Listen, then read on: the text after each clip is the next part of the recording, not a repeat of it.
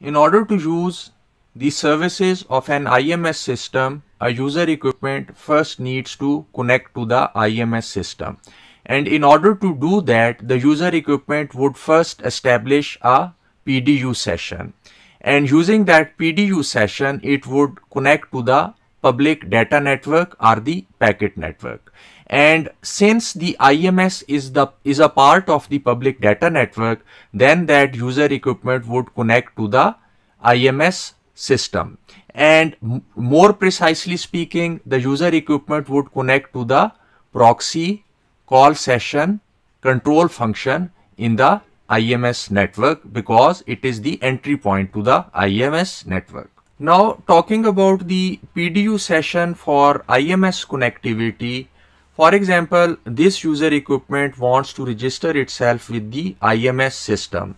So it would need uh, a PDU session with one quality of service flow and this quality of service flow will would have default parameters. That means that it would be set up uh, according to the par default parameters as decided by the operator. And this quality of service flow would be used for IMS signaling. Uh, in this case it would be used to register this user equipment with the IMS uh, system.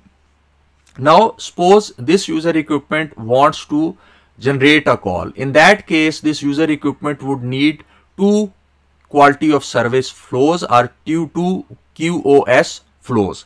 The first one would be the default QoS which would be used for IMS signaling and the purpose of this IMS signaling would be to generate, uh, establish and maintain the voice call and the actual packets of the voice would be carried on the second QoS flow uh, which is also called as the IMS media bearer.